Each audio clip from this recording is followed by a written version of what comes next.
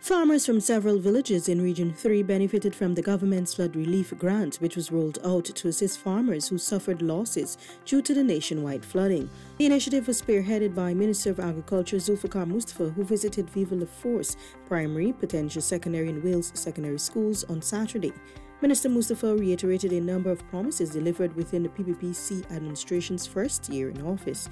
He said Region 3 will experience significant development. A lot of investment the government is making.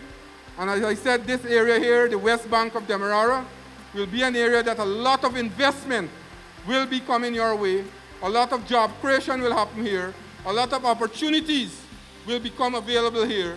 And this area here will be one of the areas that many persons will want to come to live. Rest assured, we will work continuously with each and every one of you to improve your life on a daily basis. The distribution saw scores of farmers turning out to uplift their grants. DPI spoke with several farmers who expressed their views on the program. I'm really thankful that this could put me right back.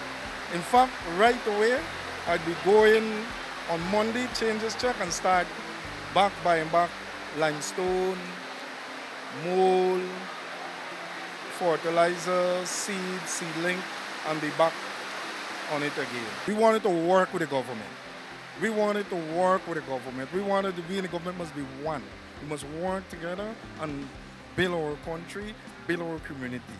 And this is what I'm looking for. We must work. This was a very good initiative. We have all lost, and at least we will get to put it back into continuing our farming. And um, we have also received some other benefits after the flood.